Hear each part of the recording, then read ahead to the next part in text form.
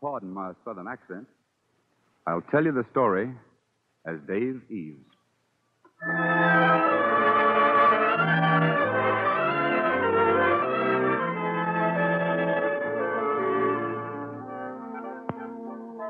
Buchanan, Georgia, county seat of Haralson. Uh, population in 1945 exactly 504. Just a dot on the map. The bus doesn't even stop at Buchanan. That's why Dave Eves, back from the Navy this spring of 1945, is walking the last few miles home.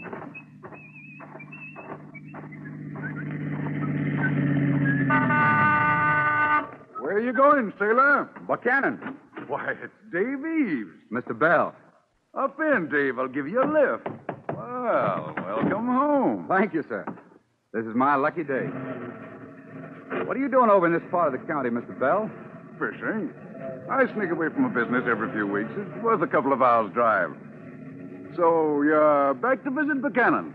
No, sir. Back to stay. Will you drop me off when we come to Freddie Woodruff's farm? I want to say hello. Fred is in Atlanta right now, Dave. He's looking for a job, so they tell me. Oh, that's too bad. Well, I'm sure crazy to see the old gang. George Bentley, Sandy, Phil Turner, Hardy McCalman. Well, I understand McCalman's back from the service, and he's still around, but none of the others are. You're kidding. No, Dave, things have changed since you went away. I don't live here myself, and it's been a real blow to watch it happen. I was saying to my wife the other day how much I hate to see all the boys leaving Buchanan. Well, sir, I'm not leaving. Good for you, boy. You got some plan? I've got a dream. I hope it's a good, solid dream with its feet on the ground. In the ground, Mr. Bell. Say, there's Billy Combs' place. Will you let me off here? Place is boarded up, Dave. Billy's left town, too. Oh. I'll drop you off at Hardy McCalman's.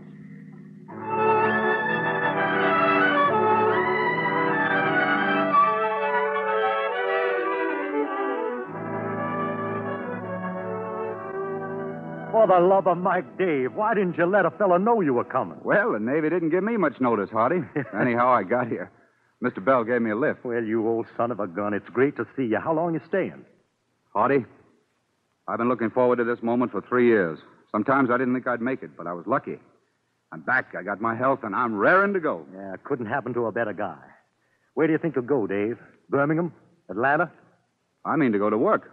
Yeah, but where? Here, of course. What's the matter with you, Hardy? You're going to work? Here? In Buchanan? Yeah, and I know just the place. The finest spot in all Georgia to raise cotton. Cotton? Yeah, cotton. Every day at sea, I, I dreamed of cotton. It got so I even loved the boll weevil. Davy, I got a letter on my desk here. You better take a look at it. Now, we'll take up the correspondence later, boy. I want to show you that piece of land. Come on.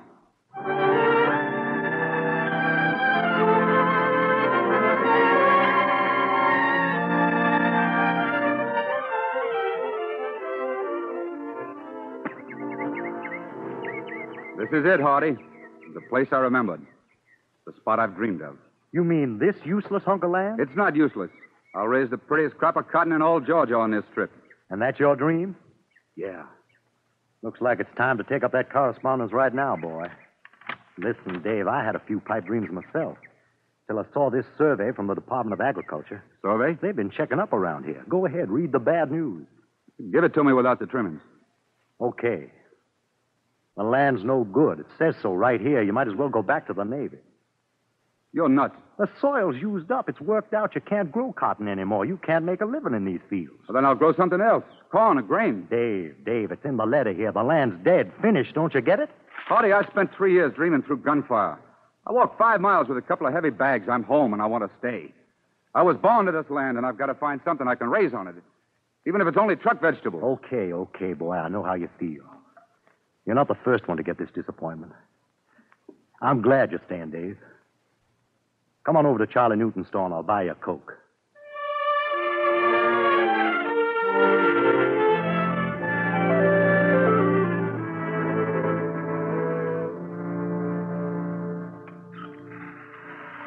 These cokes are on me, boys. Thanks, Charlie. I always set 'em up free when the boys come home and then when they leave. Only I'm home to stay, Charlie. Well, I'm glad to hear it, Dave. We don't know what you'll find to do around here. Buchanan's turned into a real ghost town. Well, drinks on the house, Charlie. Guess that entitles me to a free coke with the boys. Come over there, Hardy. Huh? Everything's free around here, but money. Josh, Yeah, Dave. what's happened to your farm? Oh, give that up when cotton dropped from 14,000 bales to 3,500. Well, then what do you do for a living these days? Well, now I get a great deal of pleasure out of whittling. Of course, you wouldn't call that a livelihood, but I get a few pennies laid by from old age. You? Whittling? Why not, boy? You don't need no equipment but a knife, maybe an old razor blade. You mean live wires like Phil Turner and Butch Riley are spending their days whittling? Oh, them boys all left town. Girls, too. No sooner they get out of high school than they own a bus, lickety splitting for the cities. How is it you're still around, Hardy? Oh, I still got the gas station, Dave. People stop occasionally on the road going through. And I had a dream. Eves here was going to raise cotton on that condemned acreage down there. Can't get anything out of that land, son, unless you want to raise cement. Yes, you get yourself a mighty good solid crop of cement out there. A good, solid dream with its feet on the ground. How's that? Mr. Bell said that to me this morning. Why, he never referred to no cotton, son. A good, solid. Josh, Yeah? you're right. Maybe cement is exactly what we ought to raise. Cement? Are you crazy? Cement means buildings. Buildings mean business. Maybe it's no good for cotton, but remember that land, Hardy. It's dry, firm, flat. There's plenty of room for trucks, strong foundations, not far from the railroad. What answers all those things? A factory. A factory? In a spot like that? Factory for what? I don't know what. We can find out after we build it. Son, you building a factory before you get an industry? I want to build a factory in order to get an industry. Look, fellas, when there's no industry in a place, there's no payroll. No payroll, no business for the stores. No business, no town. Buchanan's fading off the map. The bus driver can't see it anymore.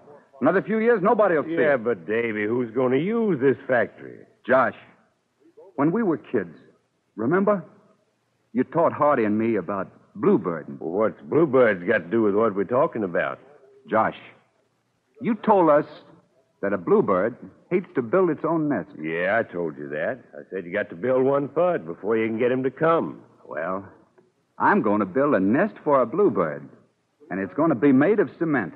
A cement nest. For a bluebird? That's right, a nest for a bluebird. That's what we're going to build on our land, Hardy.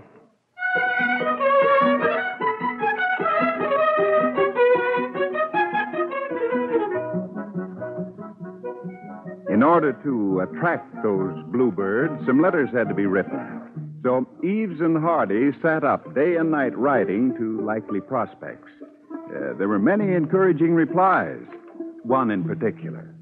Dear Mr. Eves, in reply to your letter, it is our pleasure to tell you that this company is not unaware of the advantages of a factory in Buchanan. Perhaps in the future we might be in a position to discuss this matter more fully. Hardy, we've done it. We've caught ourselves a Now, bluebird. don't, don't count your bluebird before they're hatched. I wouldn't call that a commitment. It's good enough for me. Let's take a chance. Okay, so the factory has a tenant. Now all we got to do is raise the money to build it. I got 30 cents, Dave. How much you got?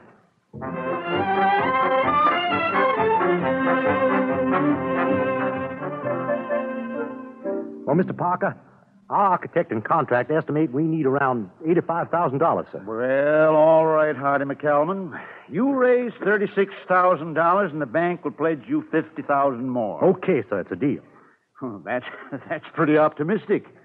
You've shown me your 30 cents, but uh, how much have you boys really got together? Well, uh, Dave has a $200 government check in his pocket right now. Hardy's dug up twice that amount already. We're both going to throw in our savings. That's 600 more. And mind you, I haven't even looked in the pockets of my other pants.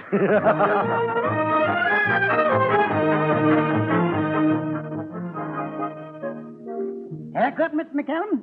Yes, sir, as soon as I get through this here customer. Yeah, I'll wait, Jim.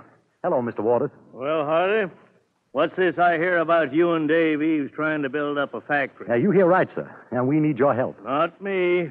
Help for a place like this has to come from the outside. Who cares about the little fellow starting in business these days? Not the company's already going strong. Oh, sure they do. Only you can't expect the big guys to push from behind unless you show some interest in getting ahead. Unless you're up there at the wheel and stepping on the gas. Jim, can I have a hot towel? Yes, sir, right away, Mr. Knight. Listen, Hardy. Suppose you raise your money. Suppose you build your factory. And suppose this company don't take over. You're stuck with a white elephant. White elephant's better than a dead lion. Oh, go home, will you? This town's been here a hundred years. I'm not going to get excited about it now. Besides, I'm trying to get a shave.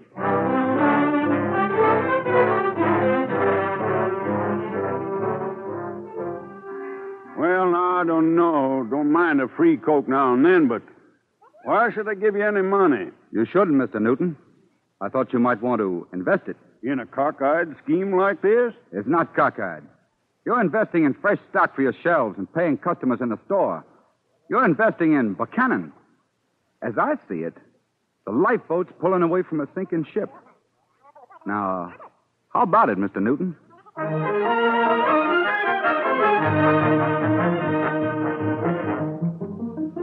Charlie Newton, I thought you'd never get home to dinner tonight. Congratulate me, dear. I'm in business. You mean you finally sold something at the store today? No, not a paper or pin, but I'm still in business. As soon as it's built, I'm going to be a stockholder in an empty factory.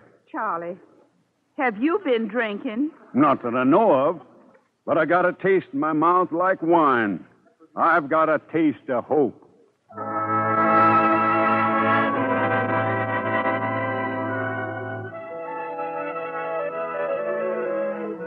That hope grew in the hearts of the people of Buchanan, and the factory grew with it as checks, money orders, and cash flowed in.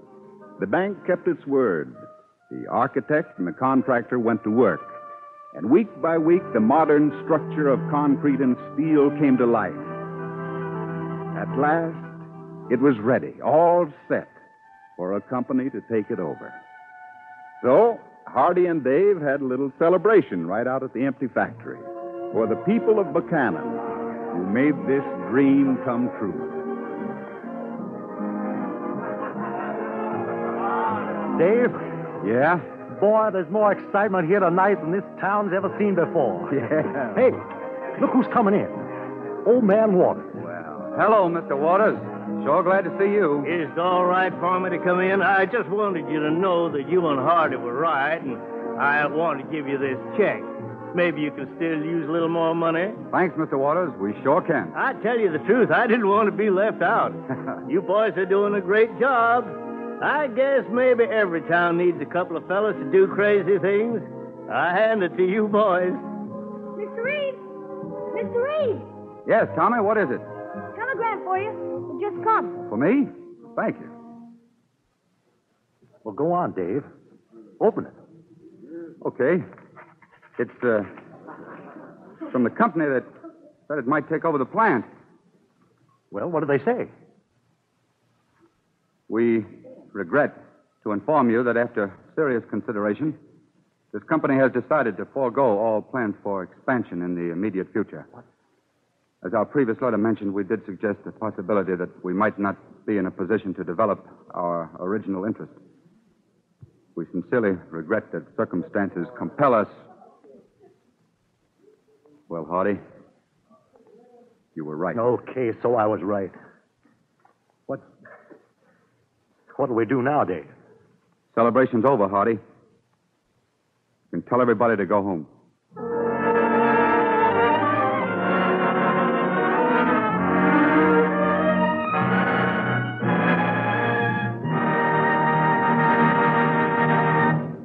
You are listening to the DuPont Cavalcade of America, starring Lee Bowman as Dave Eves, with James Monks as Hardy McCalman. Sponsored by the DuPont Company, makers of better things for better living through chemistry. Now we continue the DuPont Cavalcade, starring Lee Bowman as Dave Eves.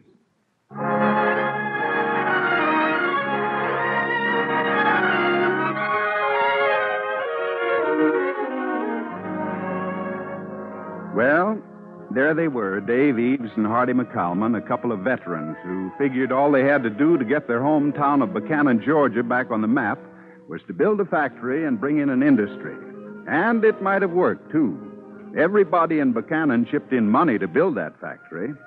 And then the company they had counted on was unable to move in, and they were left with an empty building. Well, they had to do something. They had to do something to keep from going crazy. so they went fishing. What do you got? Catfish. At least the fish are still biting, Hardy. Yeah. First luck we've had in a long time. Ah, Dave, what are we doing out here on the lake? Let's go home. Back to a factory full of echoes, a mailbox full of rejections, and a phone that rings no. I used to like fishing. Yeah, me too. Well, start the motor, Hardy. Yeah, all right, Dave. But you know something? That last letter we got, I thought it sounded sort of hopeful. Yeah, I remember it. They they said something about uh, being aware of the advantages our town has to offer. Yeah, whittling and fishing.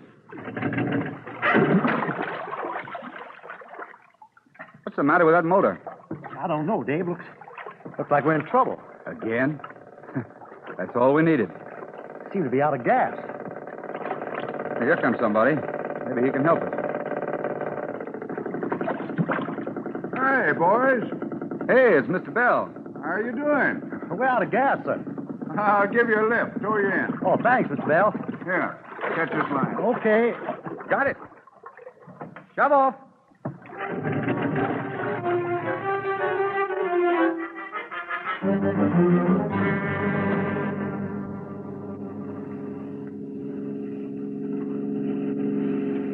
You can let us off right up the road here, sir. And thanks for the lift, Mr. Bell. Thanks for the lift on the lake, too. You've come to our rescue twice today. Glad to oblige. Now, I better get these fish home to Mrs. Bell for dinner. She. Hey, what's that building? Well, I guess you haven't been down this road in a long while, sir. No, no, I haven't. You used to be an old, worn-out cotton field.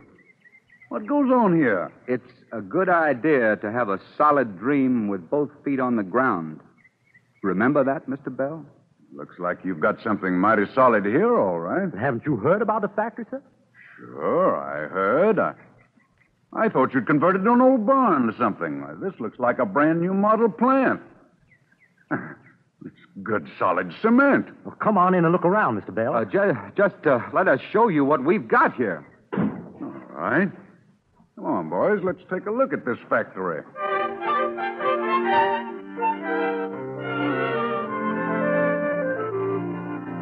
How much space you got in here, boys? 16,000 square feet. That's so. Wow. Cement, huh? Cement and concrete and steel, Mr. Bell. And good ventilation and light and a sprinkler system. Mm-hmm. Where's the railroad? 600 yards up the road, sir. You can't miss it. You can run a spur in here easy. There's a road right outside. State highway. Okay, boys, that's all. I got an idea.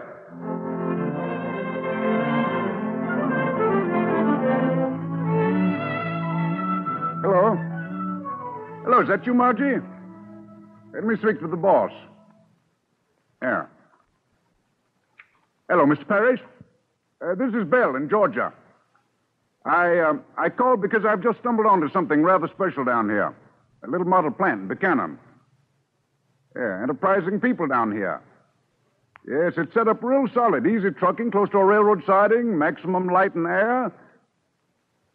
Yeah? Uh, send someone down to check.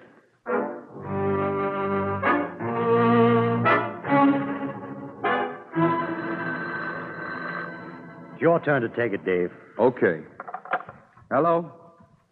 Yes, this is Dave Eves. Who? New York calling. Cluett Peabody. Cluett Peabody, the arrow shirt people? Yeah, that's right. They sent a man down here to look the plant over. Yeah. Uh, what was that again? When? I get it. Yes, I get it. You're sure? I, I mean, you're sure you'll take the plant over? You bet we can. 200 people? Yes, sir. Davy, Dave. You heard right. We're in. What'd they say? All we have to do is sign up 200 workers for the factory. Oh, but wait a minute, Dave. 200 people. There's only about 500 people in Buchanan altogether. So what? They all want to work, don't they? Let's start ringing doorbells.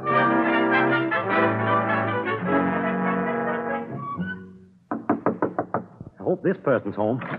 Yes? Oh, hello, Mr. McCown. Uh, how do you do, ma'am? Uh, we're trying to get pledges for people to work in the new Arrow shirt factory here in Buchanan, uh, men and women alike. I wish I could help you, Mr. McCalman, but I'm expecting a baby.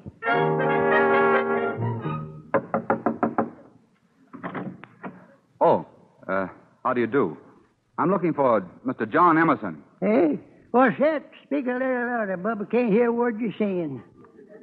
Uh, John Emerson. That's me, all right. Oldest Confederate round these parts. Come on in, boys. Sit a spell. Well, uh, never mind, Mr. Emerson. Thanks.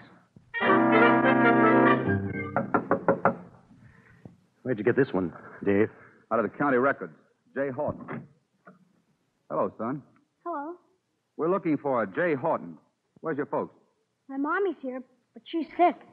Oh, I'm sorry. But where's Jay Horton? Well, that's me.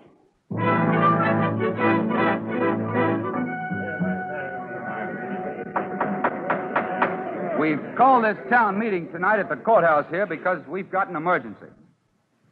Artie McCalman and I have been working on it, but we can't figure any solution. Maybe you can help. Because if it wasn't for you, there never would have been a factory in the first place. Only thing is, a factory is no good unless it can be used. Well, the Arrow Shirt people stand willing and waiting to put it to use if we guarantee 200 workers. The question is, where are we going to get them? I'll tell you where to get them. Who's that? It's Billy Coombs back from Atlanta. Yeah, I'm back. I, I guess Atlanta's a fine place to make a living, but it, it's not the same as home. I know plenty of Buchanan boys who feel the same way as I do. Yes, and girls too. Why'd you come on home, Billy? Because they don't know the town's changed. That's why. They don't know what a factory means. Well, then we've got to tell them what it means. If we get this factory going, we'll have a payroll coming in every week. That means amusements, restaurants, movies, schools. Listen, listen, most of you folks have invested in the factory already. Well, I'm going to ask for one more contribution from each of you here tonight. I want three cents. Yes, I want you to invest in a three cent stamp. Every one of you people within sound of my voice has had someone leave our hometown. Your husband, your son, your daughter, cousin. So sit down tonight and write him a letter. Tell him there's no depression here. Tell them there's jobs waiting in a new factory. We've got what they want, you tell them. Now, Buchanan has plenty to offer.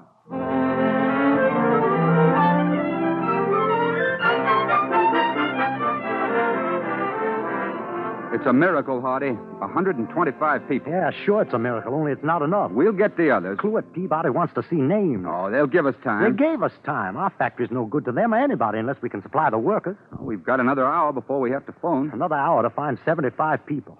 And then we'd be rocky.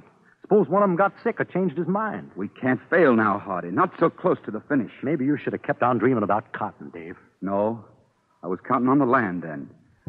Now I'm counting on people. Look at him out there. Half the town's been out in the square since dawn, waiting for the news. Yeah, I know, I know. Eve! Dave Eves! Yeah, we're in here, Charlie. Uh, I got a message for you from the chief of police. Chief of police? Yeah, I just left him over at the factory. What's he doing there? Well, he's losing his mind. There's 300 people milling around yelling for jobs. What are you Uh, what? talking I never saw half of them in my life. Everybody and his brothers come back to town. Chief says, for heaven's sake, get over there and take care of your property. We heard you. Come on, Hardy. That means us. Let's get to work.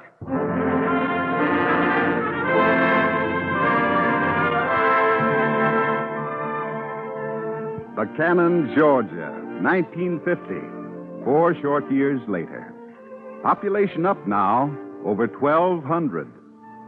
Yes, Buchanan's doing nicely, thank you. Folks are proud of their booming Arrow Shirt Factory, proud of their town. Yeah, they kind of like the new fire truck, too, the new hospital, new bank accounts, and that supermarket that just went up. And Buchanan folks are proud of all its 12 new stores, as well as the 40 new homes, the new school, and the new theater. Yes, this is Buchanan, 1950.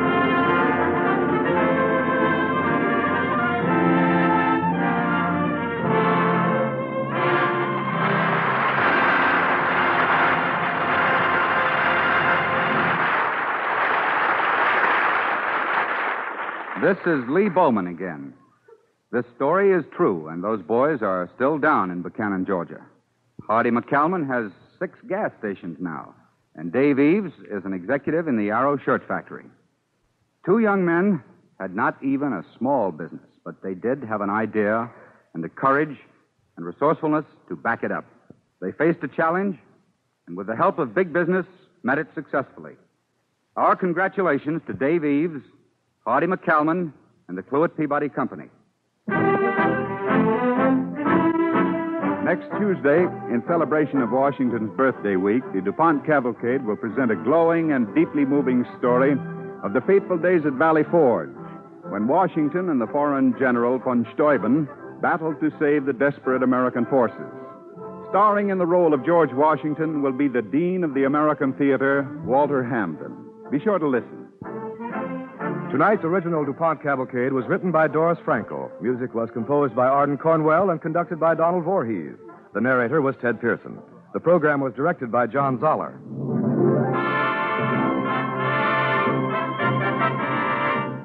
The DuPont Cavalcade of America comes to you from the stage of the Belasco Theater in New York and is sponsored by the DuPont Company of Wilmington, Delaware, makers of better things for better living through chemistry.